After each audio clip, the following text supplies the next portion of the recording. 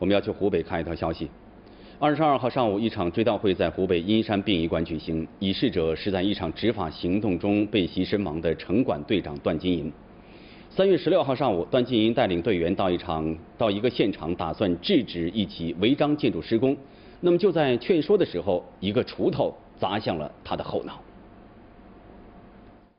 是注意力注意到那个地方去了，呃，突然的这个熊建义拿起抹手朝段金银头上。砸下去，段金银呢当当时就倒在地上。这是执法时负责视频取证的城管队员自己拍摄的视频。记者了解到，在三月十五号的下午，湖北英山县城管执法局东执法大队接到举报称，有人在廉租房小区违章建设。城管队员前往现场发现，小区门口围墙的角落里已经堆上了建筑材料。那么在这样的情况下呢，我们就是和他宣传了相关的法律法规和一些政策。调查了了解了他的一些情况，然后我们就离开了。同时也告诉他，这如果那个你没有取得相关的许可手续的话，是不允许在这里建设的。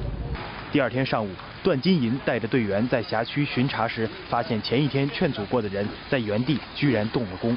于是执法队员再次上前劝阻，因为熊建一家没有办理合法的建房手续，执法人员当场下达停建通知书，熊建义的儿子熊俊签了字。当时他收到这个通知书的时候，我们的执法人员就是也是给他介绍这个法律法规，而且要求他立即停止建设。当时他就口头上他就同意了，同意了就是可以，可以，而且就签收了。十点多，段金银和队友返程时，发现熊建义和家人继续在施工，已经垒起了几层砖。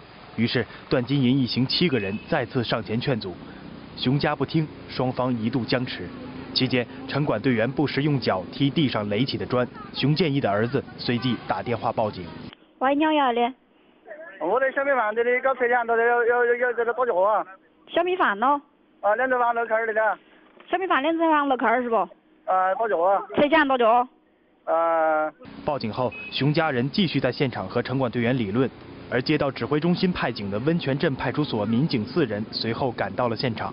我们到现场发现，但是没有，并没有打架，哎，就是发生是个纠纷。城管执法局呢镇上执法，这个事情是吧？不受治安范围，我们就说呢，哎，做做工作。民警和城管人员一起劝诫熊家。从视频中可以看到，当时有五个城管队员围在熊俊周围，准备将地上垒起的砖拆除掉。熊某的儿子突然弯下腰去捡砖头，被城管队员将砖头踩住，没能捡起。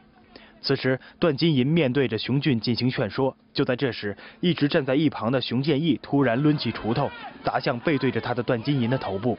城管队员迅速将倒地不起的段金银送往医院，熊建义也被民警控制。对方在这个你打之前有跟你动手吗？